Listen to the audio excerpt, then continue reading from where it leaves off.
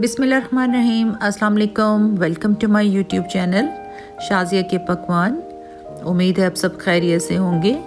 आज आपके लिए सर्दियों की स्पेशल डिश बनाने की रेसिपी लेकर आई हूँ। वो है गाजर का हलवा। ये सर्दियों की सबसे अहम सौगात है और इसे दावत और शादियों के भी फ़ंक्शन में भी बनाया जाता है। ये बहुत ही मज़ेदार डिश है और खाने के बाद स्वीट डिश खाने का हर किसी का दिल चाहता है। तो आप इसको ज़रूर ट्राई कीजिएगा और फिर मुझे इसके कमेंट सेक्शन में मुझे बताइएगा। गाजर का हलवा बनाने के लिए जो इंग्रेडिएंट्स चाहिए वो ये हैं। एक किलो लाल गाजर ले लेंगे, इसको अच्छी तरह धो लेंगे और इसको छील लेंगे।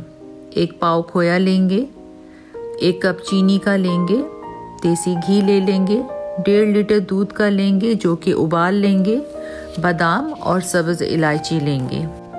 सबसे पहले गाजरों को कद्दूकश कर लेंगे। ये ख्याल रहे कि इनको इतना भी बारीक कद्दूकश नहीं करेंगे। अब हम फ्लेम ऑन कर लेंगे और एक तेज की या कढ़ाई ले लेंगे। इसमें कद्दूकश की हुई गाजरें डाल लेंगे। दो से तीन मिनट तक हम चम्मच की मदद से इसको हिलाएँगे ताकि गाजरों का जो पानी है वो खुश्क हो जाए। इसके बाद हमने डेढ़ लीटर दूध जो कि हमने पहले से बॉईल कर लिया था, इसमें ऐड कर लेंगे।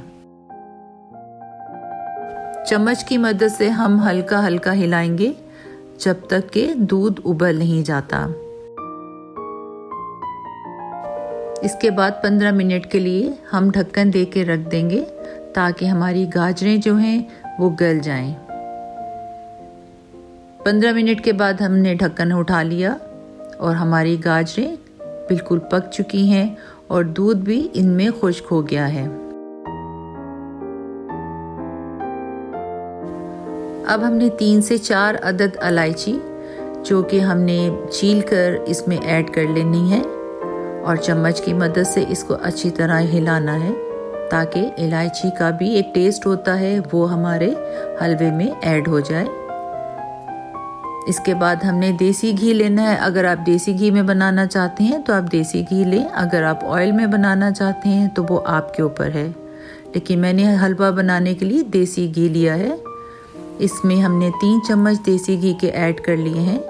और अब इसको अच्छी तरह हमने भूनना है।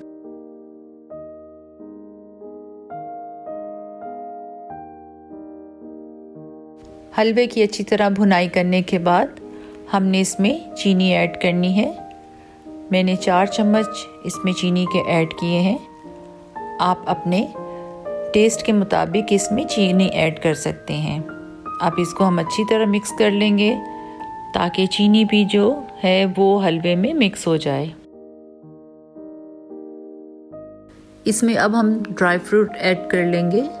आपके पास जो भी अवेलेबल हो, आप उसमें ऐड कर सकते हैं। मेरे पास बादाम थे, मैंने इनको बारीक काट के इसमें ऐड कर लिया है। और इसके बाद चम्मच की मदद से हम इसको हिलाएँगे ताकि हमारा जो हलवा है, वो नीचे लग नहीं जाए।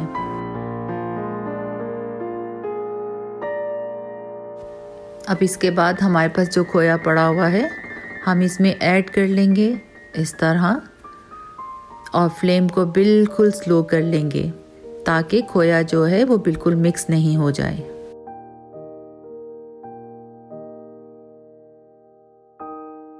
खोया मिक्स करने के बाद हमारा हलवा बिल्कुल तैयार हो गया है। इसको अब हम डिश आउट करते हैं और इसकी फाइनल लुक आपको दिखाते हैं।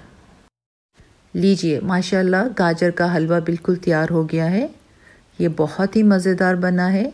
आप इसको अपनी दावत में ज़रूर ट्राई कीजिएगा। और फिर मुझे कमेंट सेक्शन में ज़रूर बताइएगा. Thank you so much for watching my video please like share and subscribe my channel Shazia के पकवान अल्लाह हाफिज़